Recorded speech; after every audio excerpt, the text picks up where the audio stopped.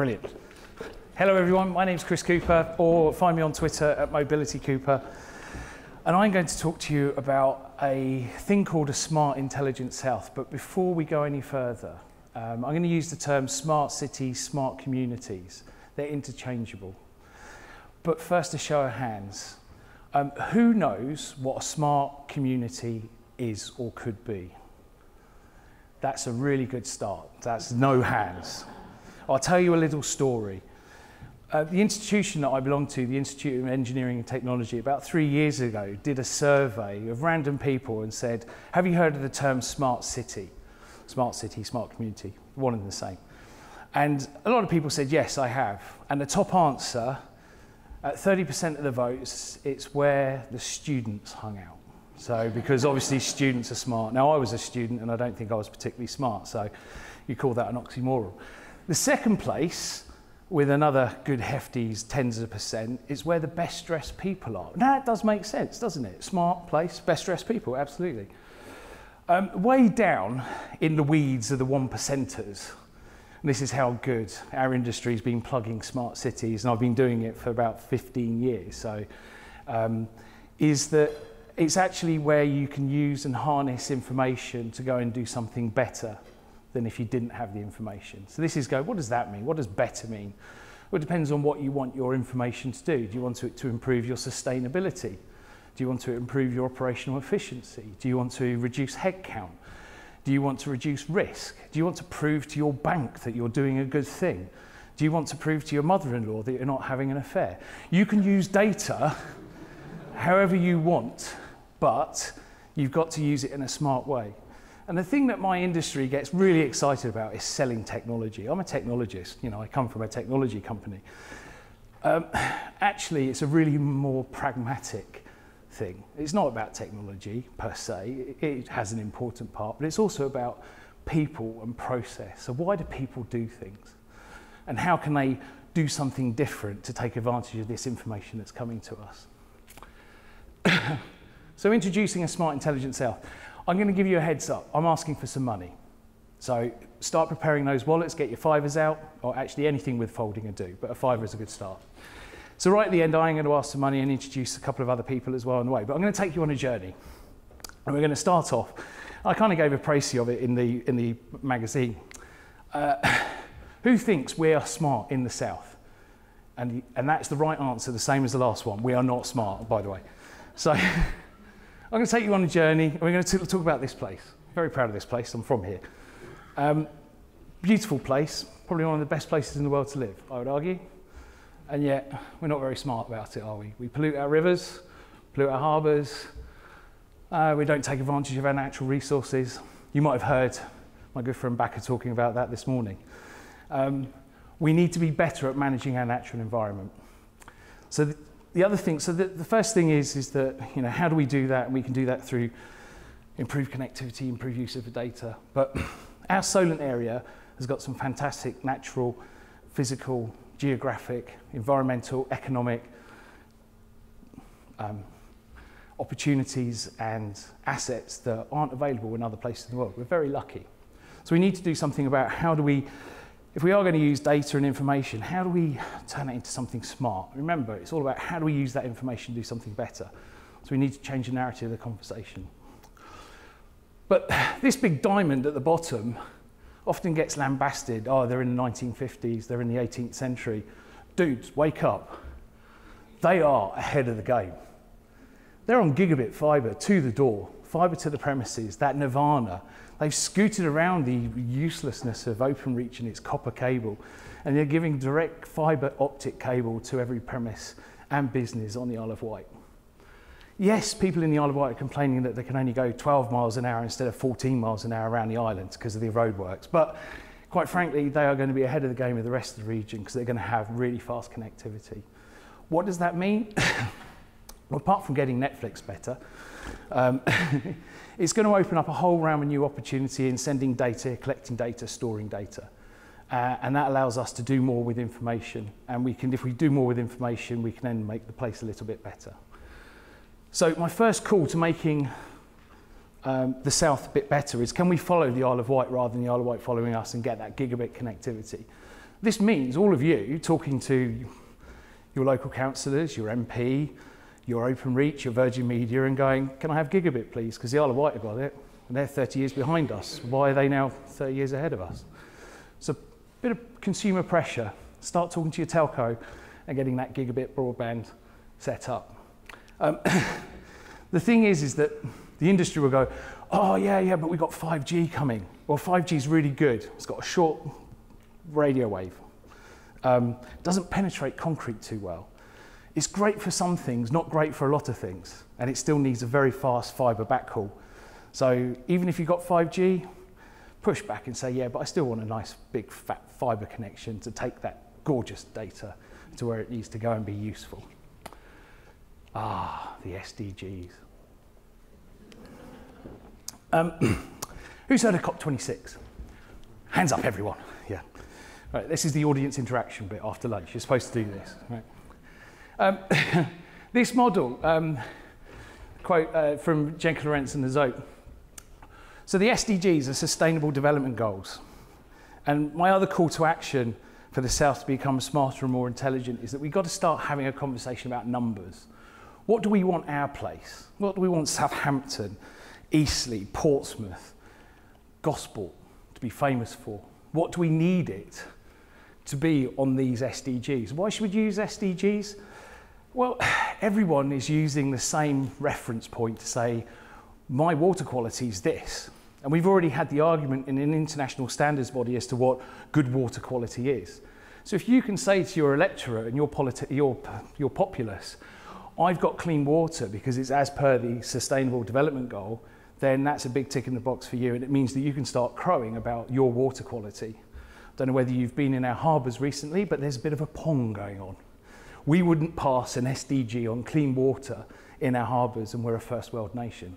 Isn't that a bit shocking? So we need to have that conversation about what is good like? What are those outcomes? How do we measure them? What outcomes am I looking to achieve vis-a-vis -vis better water quality? And we can use the SDGs because people can compare and contrast the numbers known, the metrics known. There's no, oh, do we use kilometres or miles? Well, you use kilometres because the rest of the world does. Sorry, Americans, you've lost that battle. But we can start recognising, pardon me, that in our SDGs we have different stratas. We've got biosphere, we've got society, we've got economy, we've also got us. And, and this is really important for a, another piece that I'll, I'll introduce in a bit um, from Kate Raworth on donut economics. But understanding your number and then having a debate around what is your number for your place is where we need to go next. And how does this link to our fibre? Well, the fibre helps collect and connect information. Um, it's just another part of the thing. That's your infrastructure piece. Now, this, now we're looking into the, the numbers piece, the application side of our digital technical stack.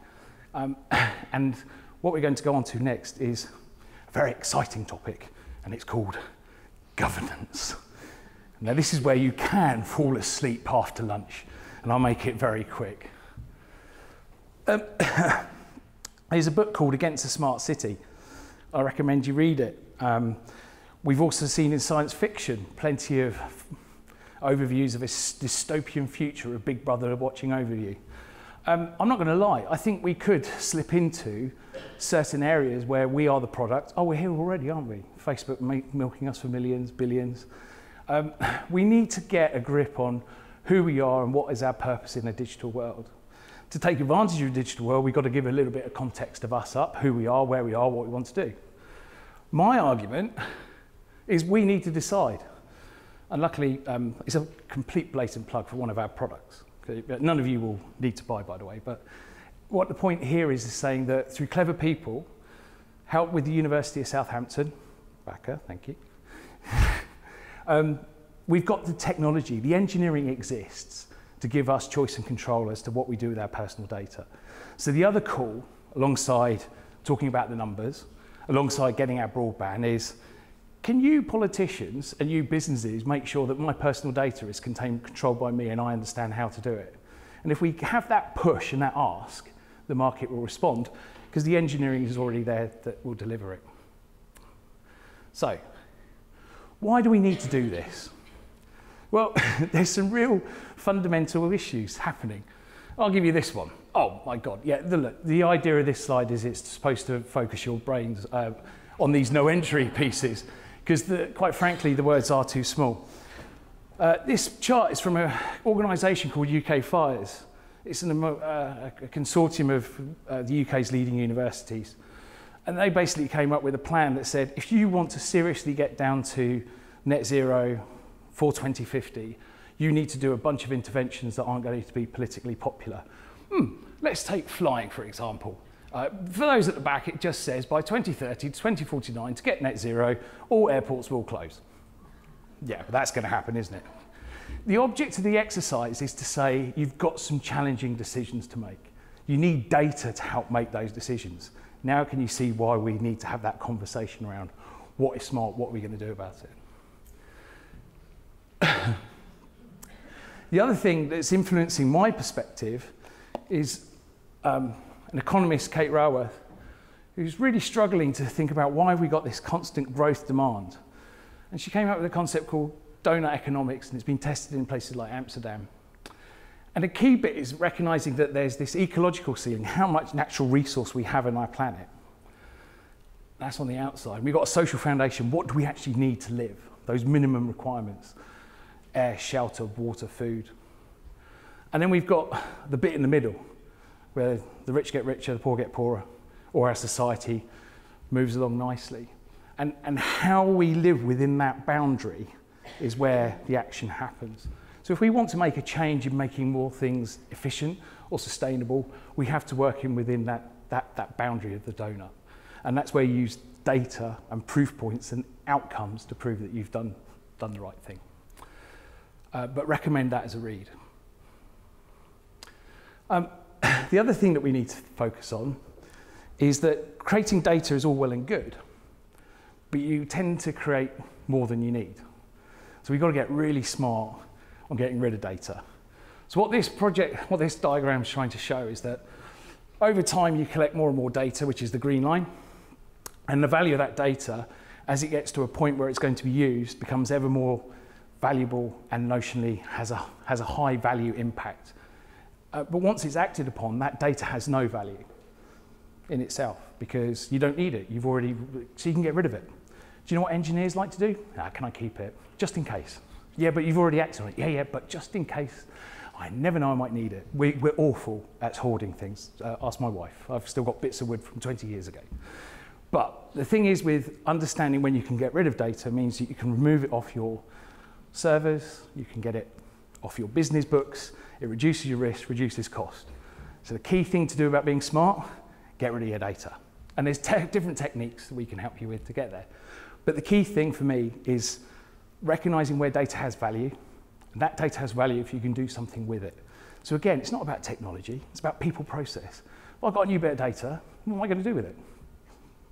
Can I do something? Is it going to improve my bottom line, make my property more expensive, more valuable, increase my yield? Those are the kind of things you need to think about your data. If it doesn't, don't process it, don't use it, don't store it, get rid of it. And then the end end goal. Who's heard of digital twins? One or two hands? Yay. All right, that's marketing, by the way. I, the tech industry loves a good bit of marketing, and digital twins are yet more marketing. But they do kind of have a point. And a digital twin, for those that don't know, are digital replicas of something that is already there. And you can use them for two things. You can do a real-time rendering, so you're just displaying what's happening. Google Maps is kind of a digital twin of what's going on in the traffic. It's about a 10 minute delay. Don't know whether you noticed, but it's, it's kind of getting there. You then also have predictive digital twins. So what if scenario planning? So what if I pull close this road or I shut down this door, what would happen in an evacuation procedure? You can have a digital twin to do that.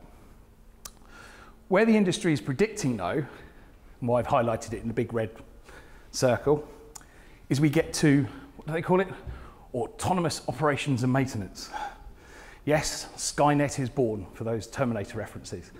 Um, what does that mean? It means that your digital twin is making autonomous decisions, it's making decisions by itself, based on the data coming in and the scenario that it thinks is going to happen, and it makes an intervention without any human, in, any human input.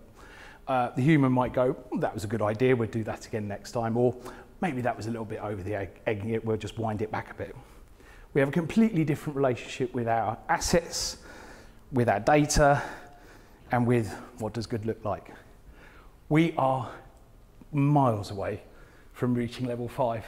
In reality, in digital twin land, we're somewhere between naught and one. So that is, we're struggling to capture reality, and we're now just about putting in some um, data onto some maps and doing something useful. You could argue a Tesla is now hitting three and four with the way it can do self-driving. Yes, a Tesla could be a digital twin. Um, but realistically, the end-end goal is that we're using data to do differences, taking outcomes, using our standard measures, using our great connectivity, and changing the narrative as to what we want to do. And a twin is just another way of telling a story. So, now comes the money bit. To help realise this, myself and the Southern Policy Centre, um, which is led by John Denham and Simon Eden, um, Southern Policy Centre is politically independent. It's there to advise the South on policy what to do. Um, we're in the process of writing a paper to convince our local leadership and stakeholders that we need to embark on a joined up uh, journey to become a smarter, intelligent South. If you'd like to participate in that paper in terms of use cases, um, help with marketing, or even put in a few quid, folding money only though, uh, to help write it, that would be gratefully received. But if you've got any questions on smart communities, digital twins, smart intelligent South, please give me a shout and get in touch with Mobility Cooper on LinkedIn. Thank you very much. Take care.